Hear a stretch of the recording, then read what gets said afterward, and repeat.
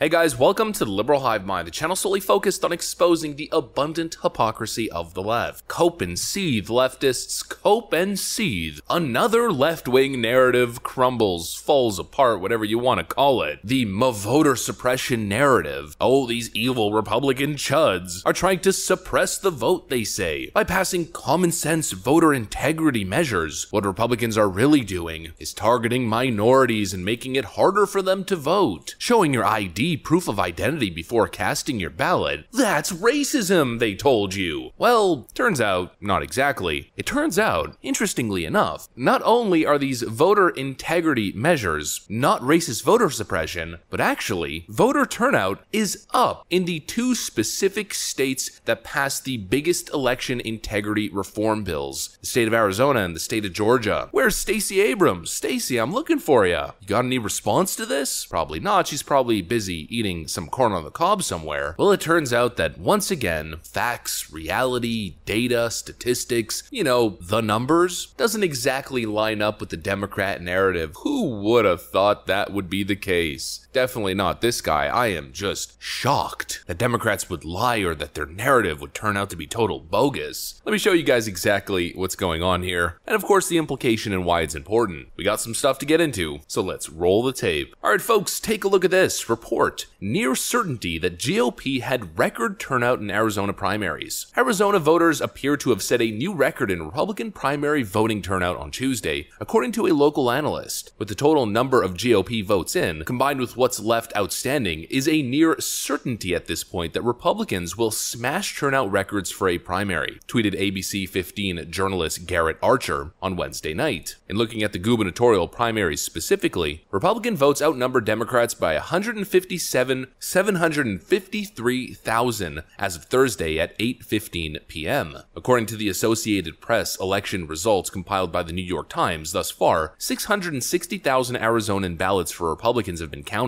with 17% of the vote still out, meaning this number will grow substantially. Conversely, Democrat gubernatorial primary candidates drew 502,000, but the number will rise considering 19% of the ballots have yet to be tabulated. Republican gubernatorial candidates were headlined by former Fox 10 Phoenix anchor Kari Lake, backed by former President Donald J. Trump and Karrin Taylor Robson. Lake leads by more than 12,000 votes, though a winner has not been declared in the race by mainstream media outlets and publications. Dave Wasserman of the Cook Political Report noted Wednesday that it looks like Lake will remain in the driver's seat to the finish and ultimately come away with the nomination. And well, would you look at that, folks? It's the exact same thing that we saw in the state of Georgia. Democrats have been screaming from the mountaintops, they've been screeching like banshees that the voter integrity bills passed in Arizona and Georgia will bring down voter turnout and their inherently voter suppression laws. Then both states smash voter turnout records back to back. And now we have some major elections right down the pike coming in the state of Georgia. And what do you think is going to happen? I'm going to make my prediction right now because I don't think it's too hard. We're going to see extremely high, possibly record breaking voter turnout in the state of Georgia. The Democrat narrative is bogus. Of course, seething, coping Democrats will now say that actually it's proof of concept that voter suppression is real and that it disproportionately affects Democrat voters and minority voters, and that's why we're seeing so many more Republicans show up to vote. Now, that right there is clearly a cope, but honestly, my stance on the whole thing remains the exact same. If having to show ID and do the basic thing that you need to do as a responsible adult, a responsible voting adult to show up to vote, is creating a scenario where more Republicans are just doing the right thing to prove who they are before they vote, and less Democrats are, and then less Democrats are voting in that environment, well, then those people probably shouldn't be voting in the first place, and if anything, that's not voter suppression, that just makes sense. But clearly that's not the case. Clearly lefties are just coping, and the narrative officially at this point falls apart. Like I stated in the intro, Arizona and Georgia passed common sense voting reforms. I mean, to a certain extent they did. They still kept in certain laws from the 2020 election. I'll remain vague on purpose. I mean, you guys know the drill. But the point is, the narrative doesn't line up with reality. The beautiful reality, though, in the end here, is that exactly as we've been predicting, heading into all of the major elections, voter enthusiasm is going to be on the side of Republicans. Just in the primaries alone in the state of Arizona, over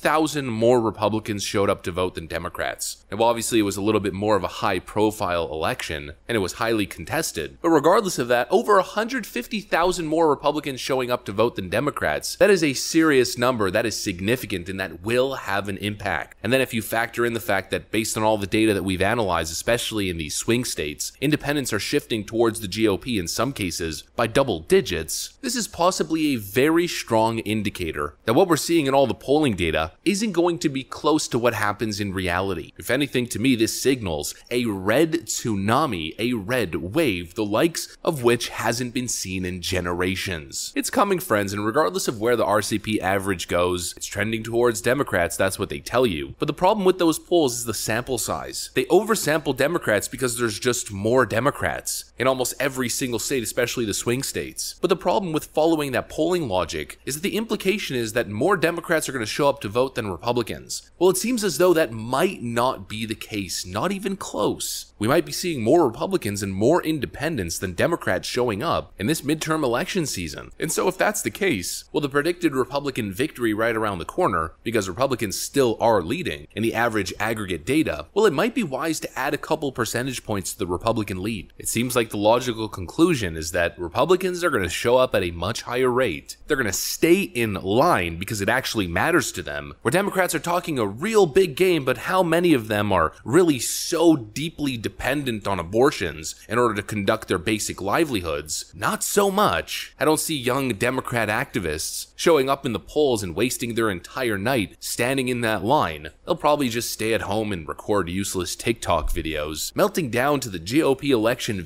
of the night that they didn't even participate in. And of course, if you look at independents, it's not looking good. If you look at demographics, again, it's not looking good. I mean, just take a look at this. CBS poll says Democrats are ahead with Hispanic voters by a smaller margin compared to recent elections. Hispanic voter trends 2018 midterms, voting Democrat 69%, Republican 29% with a Democrat plus 40 lead. 2022 midterms, Democrats leading with Hispanics at 45% to 42%, a negative 37% drop. If that doesn't signal that Kari Lake and Blake Masters are going to carry the state of Arizona, then I don't know what is. If that doesn't signal that the state of Nevada is going to flip, then I'd be really surprised. And with the extremely tight lead that someone like Raphael Warnock currently has in the polls in the state of Georgia, outspending Herschel Walker by nearly three to four times, if that lead actually carries through on election day, again, I would be very, very surprised. The only election that I'm a little bit worried about is Dr. Oz versus John Fetterman. Dr. Oz, when he first announced his campaign, I thought, you know what? This guy might actually have some charisma, some likability, some electability, but he is just flat boring.